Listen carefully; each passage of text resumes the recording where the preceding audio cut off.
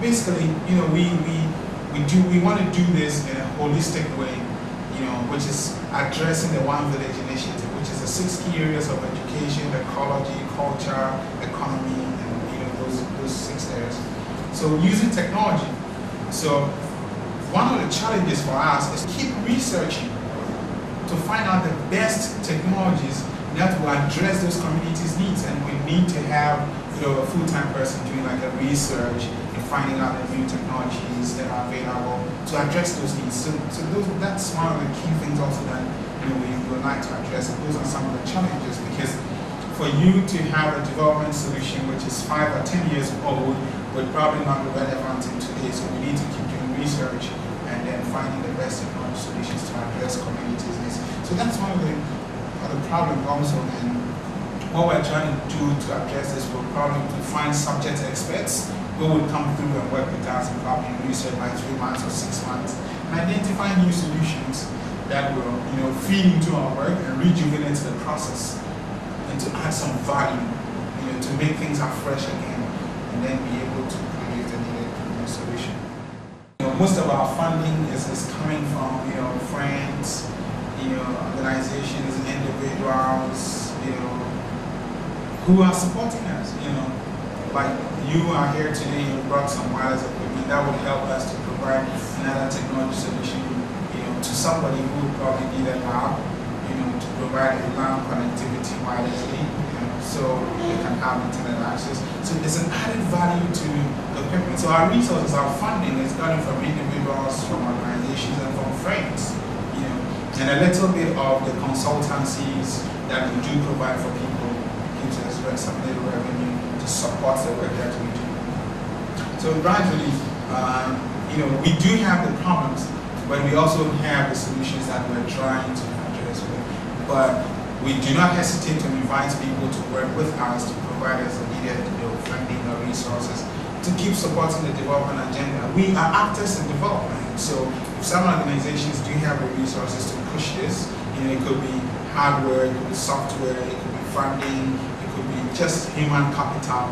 I mean, they could push them through us. We would know how to utilize them to provide the needed development. So, you know, either through exchange programs, either through tourism programs, either through partnerships, either through donations, either through consultancies, either through expansions and you know memorandum of understandings. We would like to work with people you know, to provide one kind of solution to the community in any way. So you know we do have the problems we also have identified the solutions we invite you people to partner with us to address these, solutions. So in Winneba, where we are, we are you know, very much welcome in the community and people really appreciate what we do. And they come to our aid if need be with patronizing our services. So I would say government institutions utilize our services, individuals utilize our services, private investors utilize our services, uh, and people like schools also utilize our services. Now, so our contribution to the local community, I would say, has been profound in the past few years because we have spearheaded technology development at least within our area by connecting you know, more than 10 institutions to the internet access and keep providing them ongoing technology support. We have so far trained not less than, the two years of our existence here, we have not turned out people, not less than 1,000 people have walked through our center to take different types of capacity building sessions. We have partnered with organizations like more of learning in Canada to provide inter-country training in you know, the use of Web 2.0 technologies for education and partnering with the University of Education to deploy many of these projects. So, you know, over 1,000 people have walked through our center here in Winneba to take various forms of training, and this is still ongoing. And our target is to provide technology solutions to as many people as possible if we can bring it to the adult doorstep, we want to plan to do that.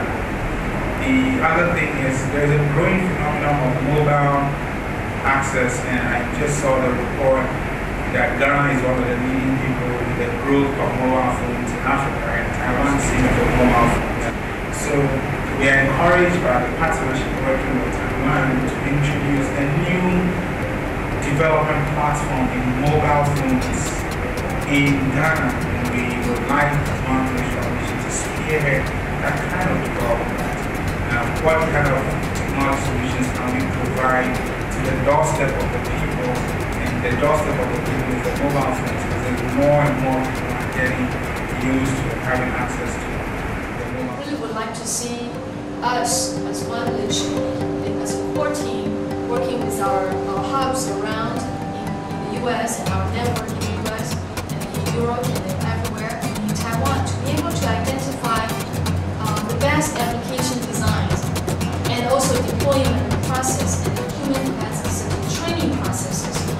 here on the ground in Africa. I think we can piece that very well together. I think not only the people can be empowered with the tool and the design of the applications, I think for the technology designers and producers, they will enjoy a very um, high, high percentage of market share or, mm, or even technology uh, um, adoption. I think any technology inventors would like their technology to be adopted in a very meaningful and efficient way. So I think um, those are the ways that we have uh, worked, and then little do we know through our own practices that that's actually become our today our our business model or operational model or service model. So I, I, we, we think this as a self-sustaining social enterprise, but at the same time we really reach out from day one to the most vulnerable vulnerable people in our communities, like the age orphans or the people just don't have access to the internet like the people in the rural villages. Urge them to work very hard and they should always try to visit their customers to find out the problem they are having